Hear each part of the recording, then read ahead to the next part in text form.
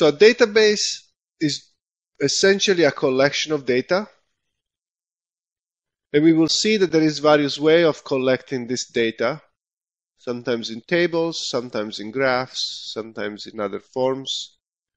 And the idea is that once the data is collected, it's possible to do queries on the data. So ask questions about the data, run reports.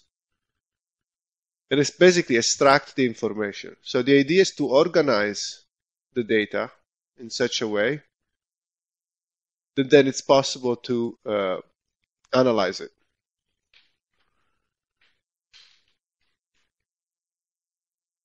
Okay, so for instance, we have here an example to classify all the rooms in the hotel into a database so that it's easy to find rooms that have vacancies. We refer to database management system it's basically a computer software that manages the database and interacts with the user. Interacts with the user. The user could be a human being, could be other applications. So, for instance, we have huge databases, and then programs might query those databases to, to get information, not the user directly. A general purpose database management system is designed to define and create relations and, and structures to, to, uh, to basically uh, store the data. And then it's designed to allow users to run queries, to update the content of the database, and do general administration tasks.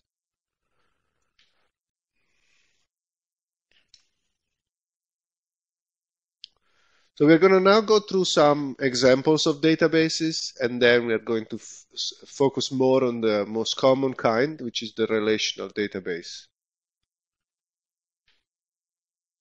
We call navigational database, it's basically a database in which uh, records are basically stored one after the other.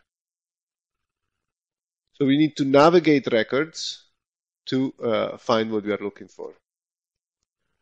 This was a very common type of database in the very early ages of databases when everything was stored on magnetic tapes. And so the idea was that things would be stored one after the other. And then uh, basically the database management system would have to run through the tape and find where things were. Okay, so this is kind of very old. Another kind of database is the graph database. This uses a graph structure to, uh, to basically connect nodes. So the idea is that we will have nodes that represent entities. In this case, will be people.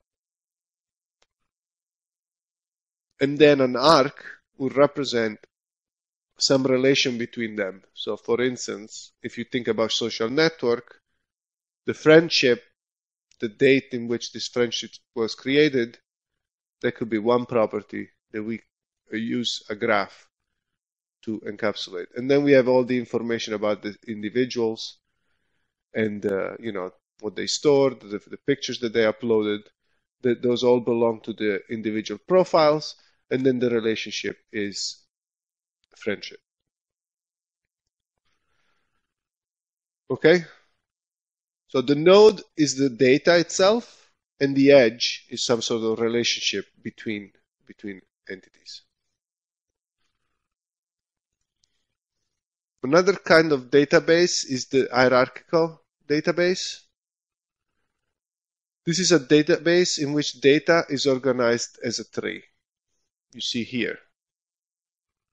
For instance, in a grocery store, everything is a product. And then you can classify products in classes. You have the drinks, you have the foods, you have the supplies, you have things that are refrigerated, things that are not refrigerated. And then for each of these groups, we can have multiple subclasses. So for instance, within the food, we can have vegetables, meat, fish. Those are all kinds of food, but each has their own property.